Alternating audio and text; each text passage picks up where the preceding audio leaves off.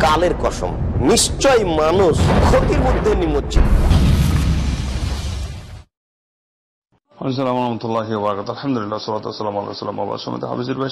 আপনাকে সুস্থ আমিন।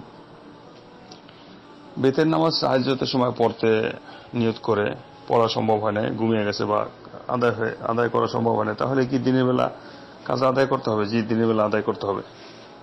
কীভাবে আদায় করবে একটু পরে বলতেছি।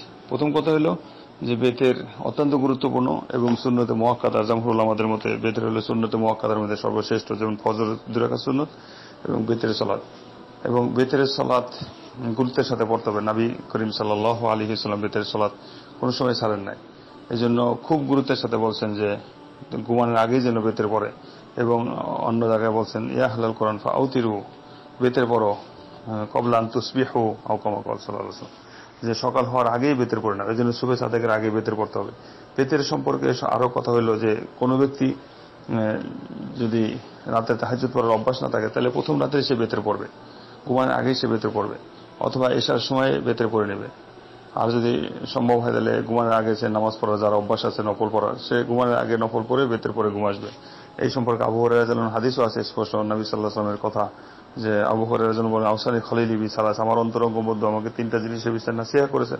এক নম্বর হলো, আমি যেন প্রতি মাসে তিনটা রোজা রাখি, ভেতরে সলাৎ করে যেন ঘুমাই এবং সলাত জোহা যেন করি তো ভেতরে সলাতের অত্যন্ত গুরুত্বপূর্ণ বিষয়। আর যে ব্যক্তি রাতে তাহাজুদ পড়ে, সে ব্যক্তি বেতের পড়বে শেষে। কারণ বেতের হলো সব শেষের সলাৎ এই জন্য যার তাহাজুদ পড়ার অভ্যাস আছে, সে সেজন্য সে শেষে বেতের পড়বে। কারণ হাদিসেও আছে ফাজিয়ালু আখরা সলাত বিল্লাইল বেতরা।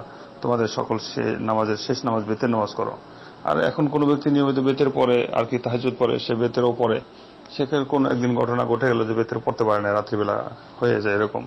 এটা নবী সাল্লাহ আসলামের হাদিসও আছে যে নবী সাল্লাহ আসলাম কোনো সময় রাত্রিবেলা যদি তাহাজুদ না পড়তে পারতেন, কোনো কারণে দিনের বেলা বারো রাকাত পড়তেন, সেই হিসাবে কোনো ব্যক্তি যদি বেতের সালাদ না পড়তে পারে, রাত্রিবেলা সূর্য উঠে যায় বা ফজর হয়ে যায়, তাহলে দিনের বেলা জোড়া পড়বে, এই সম্পর্কে আলেমগঞ্জ সমাধান দিচ্ছেন। তিন আঘাতের জায়গায় চার আঘাত দুই দুই আঘাত করে চার আঘাত পড়বেন। এটা হলো সমাধান এখানে। আল্লাহ আপনাকে তৌফিক দান করুন। আল্লাহ হাজার সাল্লাহ নবীন। আসসালামু আলাইকুম। বরকাত